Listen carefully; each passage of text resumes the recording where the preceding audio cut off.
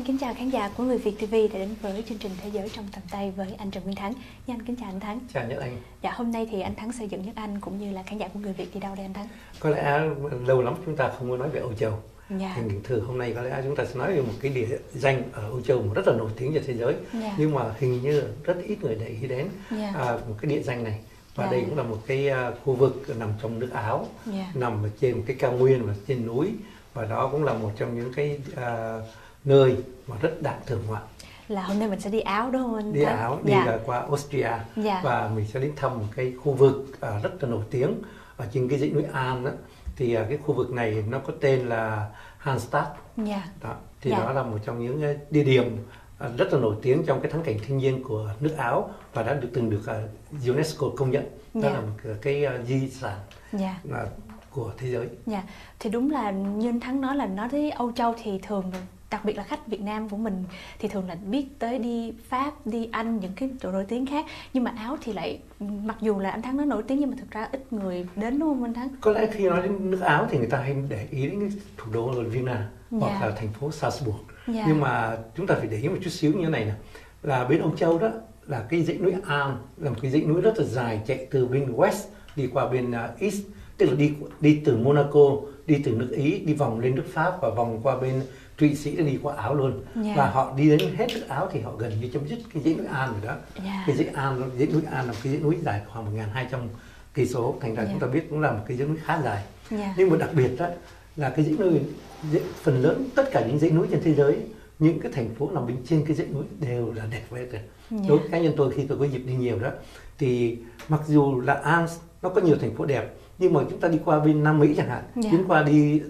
đi trên những thành phố nằm trên cái dãy núi Andre Andre đó thì Dạ. đều là đẹp cả Dạ. hoặc là chúng ta đi lên cái dãy núi Himalaya Sơn à, Himalaya đó ở trên đó có rất là nhiều đỉnh núi rất là đẹp và có nhiều cái thành phố cũng rất là dễ thương mặc dù người ta là xứ nghèo Dạ. nhưng mà mỗi thành phố ở trên những cái dãy núi cao thì đối với cá nhân tôi thì nó đều cho mình một cái không gian đặc biệt và rất là xứng đáng để thưởng ngoạn Dạ. thì à, bây giờ chúng ta nói về dãy núi An thì như chúng ta biết đó, tôi- vừa trình bày là đây là một dãy núi chạy từ west qua east Dạ. từ tây qua đông của Dạ. Âu Châu thành thử có một số đất nước nằm trên dãy núi đó như là Thụy Sĩ như là nước Áo chẳng hạn Dạ. thì à, nếu mà nhất anh có dịp đi sang Thụy- Thụy Sĩ rồi đó thì nhất anh sẽ thấy những thành phố mà nằm trên cái dãy An đó như là Geneva à, hoặc là Lucerne hoặc là Zurich Dạ. hoặc là tất cả những thủ đô của nước à, Thụy Sĩ mà nằm trên những đều là những thắng cảnh rất là đẹp của thiên nhiên Dạ. sở dĩ nó đẹp là thiên nhiên đó, tại vì nó có núi thứ hai nữa là có rất là nhiều hồ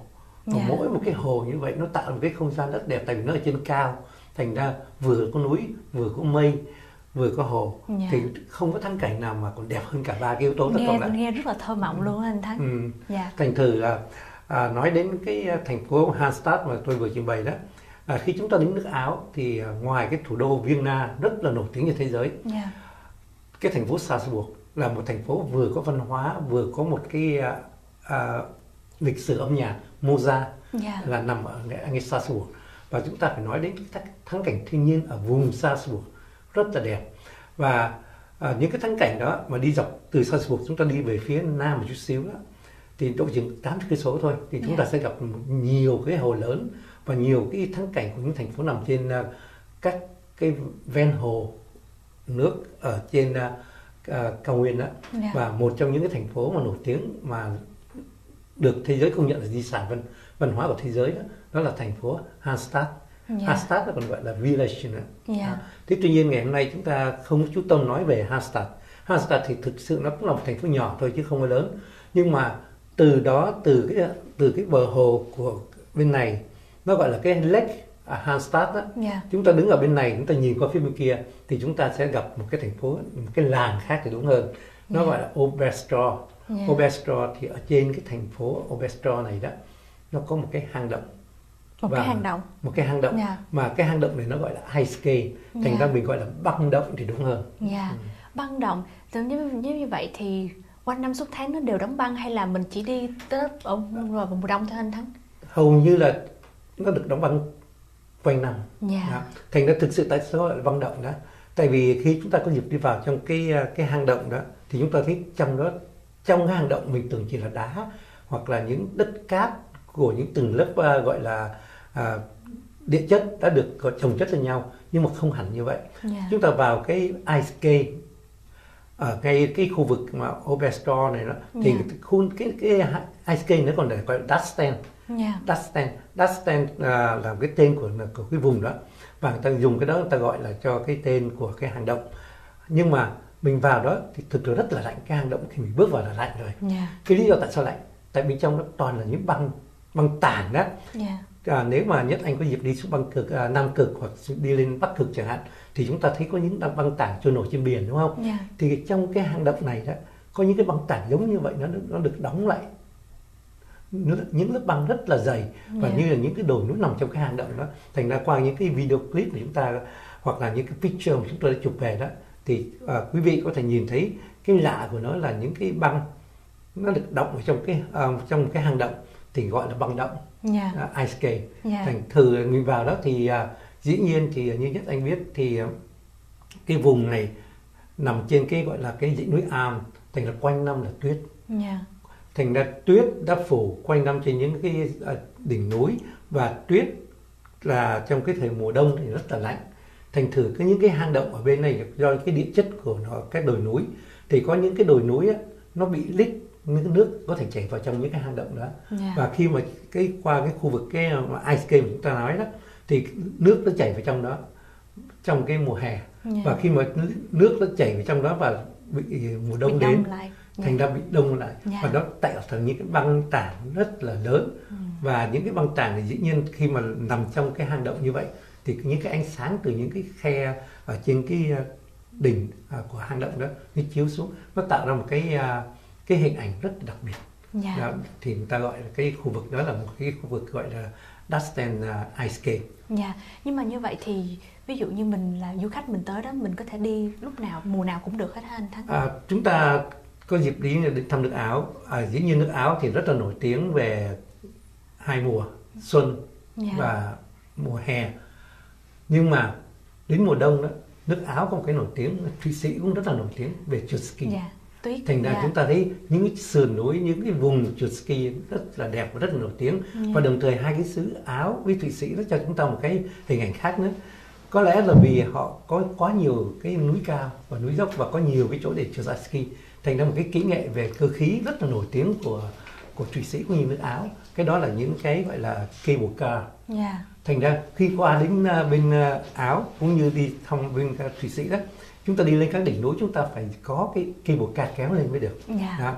và những cái cable car của bên à, Thụy Sĩ cũng như bên Áo đó đó là những cái design rất là đặc biệt để cho để kéo à, kéo lên trên các à, sườn núi lên đỉnh núi cũng như cái, kéo lên à, tất cả những cái độ cao hoặc là những cái à, phương tiện mà di chuyển lên núi mà cần giống như một cái loại xe điện đó Dạ. mà lên từng cái à, qua từng step một nó có cái từng cái lóc lại lóc lóc lại nó lên đó thì chỉ có thụy sĩ với ở áo là chúng ta mới thưởng thức được cái cái Là đẹp hơn cái, ở cái, những cái nước khác. cái kỹ nghệ về Dạ. technology về cơ khí Dạ. ngoài ra thì à, ở đó chúng ta sẽ thưởng thức được những cái, cái thắng cảnh thiên nhiên nhất là những cái không gian mà ở trên đồi núi và trong những cái hang động mà như cái chúng ta đang trình bày về cái hang động gọi là băng động đó Dạ. thì chúng ta thấy là hình ảnh đó à, không có nhiều nơi trên thế giới có những cái đó Dạ, cảm ơn anh Thắng rất là nhiều và hẹn anh Thắng trong phần sau anh Thắng sẽ kể thêm cho Nhất Anh cũng như khán giả nhiều hơn nữa về nước Áo.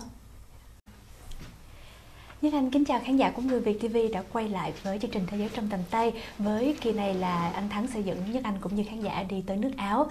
Ờ, trong phần 1 đó thì anh Thắng có nói là một trong những cái địa điểm nổi tiếng nhất của nước Áo đó chính là cái bằng động.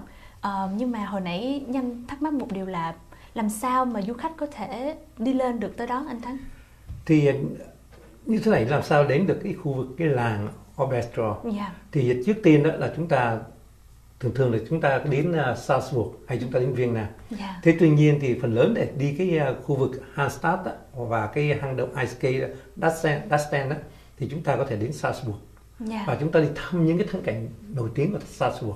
Salzburg là một thành phố rất là dễ thương, Dạ. rất là đẹp và rất là văn hóa, nhất là về ở đó quý vị có thể đi thăm quê hương của Mozart là một thiên tài về âm nhạc Dạ. và từ đó thì chúng ta có thể đi về phía na- nam của Salzburg và chúng ta sẽ đến cái khu vực à, những cái hồ lớn nằm trên à, nước Áo và một trong những cái hồ lớn đó là Hansard Hansard C đó. Dạ. C thì trong cái tiếng Áo thì có nghĩa là lake đó. Dạ. thành ra chúng ta đến đó và chúng ta dĩ nhiên chúng ta được thưởng ngoạn cái thắng cảnh của cái làng Hansard đó.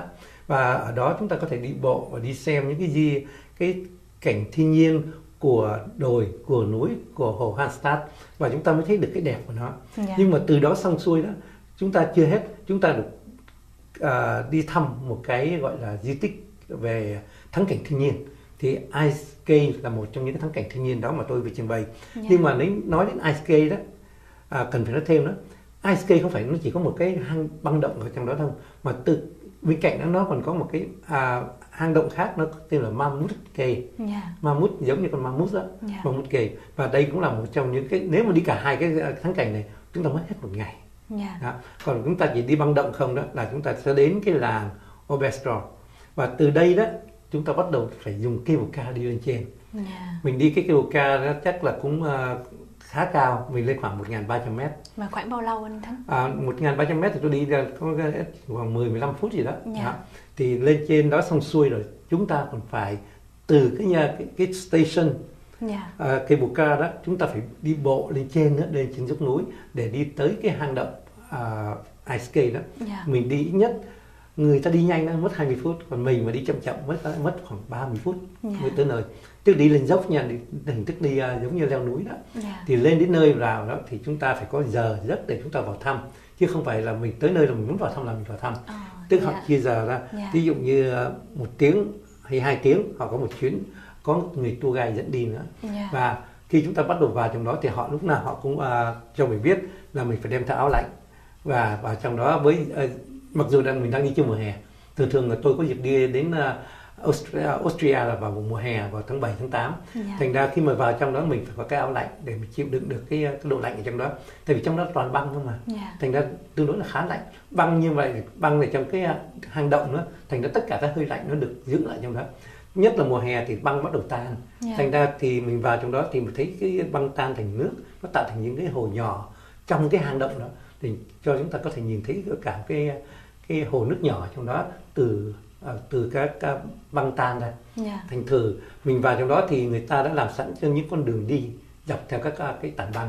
Và dọc theo các tảng băng đó mình được hình dung mình xem được những cái thắng cảnh mà người ta đã gọi là sắp xếp cho mình xem những cái thắng cảnh mà những băng tảng nó nó đều điêu khắc bằng cái tạo hóa thôi. Dạ. không ai điêu khắc nữa cả. Là nó nó có những cái hình dáng khác hình nhau dáng khác nhưng nhau. mà không phải do bàn tay con người không phải bàn tay con người. Dạ. tất cả cái đó là của tạo hóa Dạ. đã bằng tạo ra và chúng ta vào xem và khi mà chúng ta đi qua một cái vùng cái điểm chính cái khu chính của trong cái hang động đó Dạ. thì vào tháng 8 á, thường thường ở trong đó cũng đặc biệt lắm mà người ta chơi ta đem cả đàn piano vào và người ta play piano cho mình xem thành ra Ừ.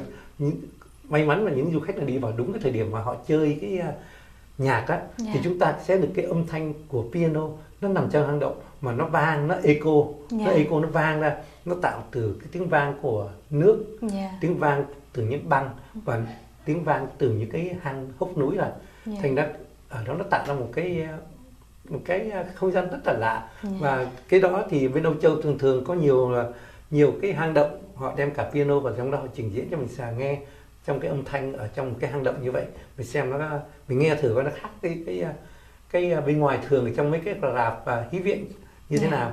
Thành ra cái đó cũng là một cái chỗ mà chúng ta thưởng thức được âm nhạc nữa. Nếu chúng ta đi vào đúng mùa. Dạ, nhưng mà nãy anh Thắng có nói là mình có một cái cave Mammoth Cave đó. Thì từ cái Ice Cave mà đi qua Mammoth Cave thì nó có xa nhau hay là nó nó trên cái, đường đi mà chúng ta đi từ cái nhà cái cable car station đó, chúng ta Dạ. đi lên đó thì chúng đi lên một đoạn thì chúng ta bắt đầu tẻ hai ra. Dạ. tẻ hai thì ai muốn đi vào à, ice cave thì đi ice cave ai muốn đi coi cái mammoth cave thì đi Dạ. còn người nào mà thích thì có đủ sức thì đi cả hai Dạ. À, dĩ nhiên thì à, nhưng mà đi khi đi cả hai vậy thì mình cũng phải có giờ giấc ở phía à, dưới họ cho mình cái ticket họ nói cho mình đi đi vào giờ nào giờ nào chứ mình Ừ. không muốn không phải là mình tự động mình đi được tại vì Ừ. vào mấy cái à, à, cave đó vào những cái hang động đó mình đều phải có người hướng dẫn mình cả Dạ. đó.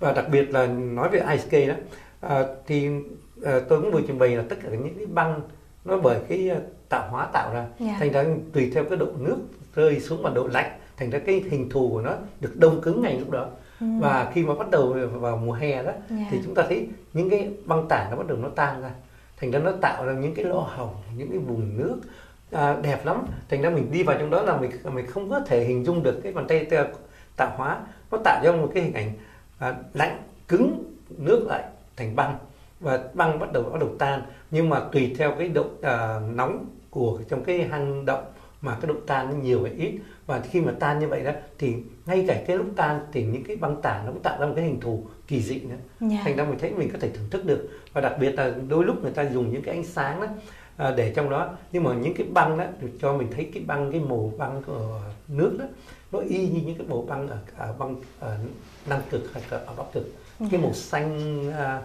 kiểu mà của phụ nữ hay đeo mấy cái à, à ngọc thạch đó oh, yeah. à, thì cái màu xanh đó thì nó cũng có cái đặc biệt qua những cái hình ảnh nó mình có thể cảm nhận. Nó xanh lá lá luôn á hả anh Nó màu xanh lam đó. Dạ. mà nó nó đẹp lắm. Thành yeah. ra nhưng mà nó trong có những cái chỗ mà nước trong đó, thành yeah. ra mình có thể nhìn cái băng tảng nó trong suốt thôi.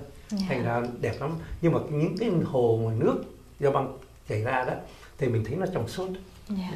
Thành ra và trong cái ice skate ở bên uh, uh, Oberstdorf thì chúng ta mới thấy được cái uh, cái cái đặc biệt của thiên nhiên và đặc biệt cái đó là cái không gian mà có lẽ ở trên thế giới tôi có đọc và xem ờ, những một số tài liệu đó ngay cả nước Mỹ chúng ta cũng có ice skate nữa nhưng mà dĩ nhiên chúng ta phải đi đến tận nơi yeah. Dạ. đó. thành ra cái đó là nếu chúng ta có dịp thì ice skate cũng là một trong những cái cái thắng cảnh thiên nhiên à, xứng đáng để cho chúng ta đến thưởng ngoạn xem cái uh, cái cách cấu tạo thời tiết cho đến các hang động và các lớp đất đá như thế nào. Dạ, cảm ơn Thắng rất là nhiều. Thực sự thì 15 phút ừ, của chương trình thì không thể nào mà mình nói hết được hết, nhưng mà hy vọng là uh, trong qua 15 phút này thì anh Thắng sẽ cho được khán giả của người Việt TV cũng như yeah. là những anh một số thông tin về yeah. Ice Cave. Thành thử ờ, khi mà quý vị có dịp đến Hallstatt á thì chúng quý vị đừng quên cái Ice Cave, cái mà muốn kể. Đó là hai nơi cách nhau có 5 cây số thôi mà yeah. chúng ta chỉ đến thăm có một cái mà bỏ cái kia đi thì rất là ổn. Dạ. Yeah.